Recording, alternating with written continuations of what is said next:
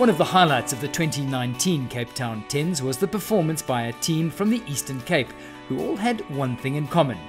They had played with or coached current Springbok captain Siya Kolisi. While the Super Rugby season is just ahead of him, Siya took on the coach's mantle this time round, but still putting the same amount of energy and passion into the game as he does when he's playing. This is my team, Bomkuba. In English, it's called Children of the Soil. So these are some of the coaches and players that I've played with since I was young. So I started with uh, the African Bombers, so it's the guys from New Brighton, Zwide. And some play for Zwide United, some play for Springboks.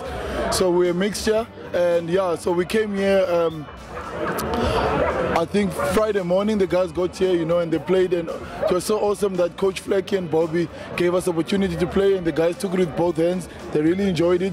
Uh, yeah, and the boys played well today. We won the tournament unbeaten, so it was really good. hayi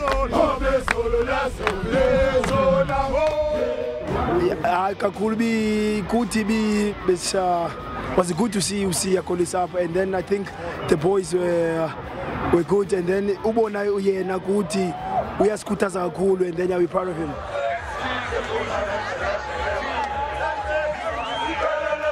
Congratulations to Siya and his team, showcasing the abundance of rugby talent that can be found in the Eastern Cape.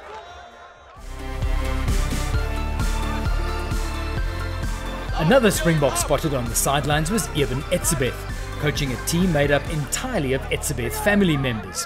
Aptly called the Etzebeth Barbarians, the team was put together to honour four deceased relatives.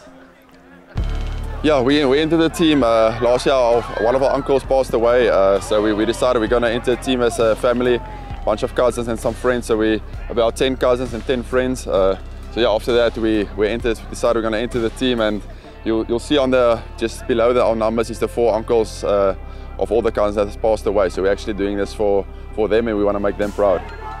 Yeah, it's awesome. Um, I'm enjoying it. I was here yesterday the whole day. Going to be here today supporting my team. So it's yeah, it's an awesome experience, and I really enjoy being here. After missing out on last year's Super Rugby tournament, Eben is looking forward to this year's season. Yeah, we're looking forward to that uh, massive season. Uh, unfortunately, I couldn't play last year, so I'm excited to, to be playing this year again.